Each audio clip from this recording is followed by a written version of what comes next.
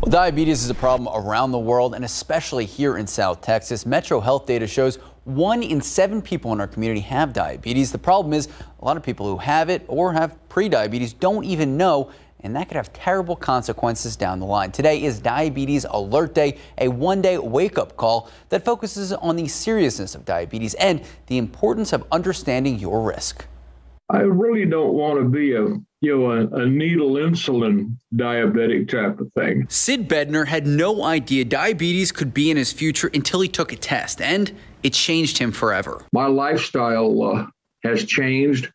I try to go and you know manage what I eat. Diabetes and prediabetes are serious issues, especially in our community. The eating habits uh, of people who live in South Texas uh, uh foster weight gain and of course, obesity brings out uh, diabetes. so, this is a very bad combination of lifestyle not going in our favor and genes not going in our favor. And adults are not the only ones dealing with this dangerous disease. At the Texas Diabetes Institute, we have now more children with type 2 diabetes than we have with type 1 diabetes. And the underlying issue is always they're very, very much overweight.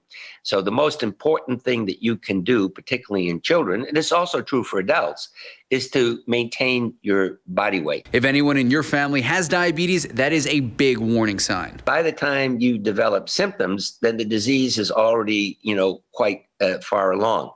Uh, so there is a test that you can take. You can go on to the CDC or the ADA website uh, that uh, you just answer uh, some eight simple questions, and they will tell you whether you're very likely to have diabetes. Eating healthier, regularly exercising, and taking these tests could help save your life. As for Sid, he is now retired and wants to spend as much time with his family as possible. And if you have any questions about the test or want links to take those tests, we have all that information. Just head to ksat.com.